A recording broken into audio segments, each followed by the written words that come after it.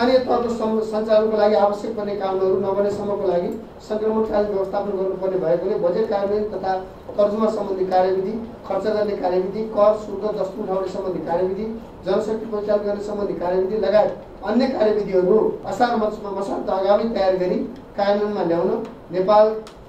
समिति नेपाल सरकार सङ्घीय माग स्थानीय विकास मन्त्रालयले निर्देश गर्दछ।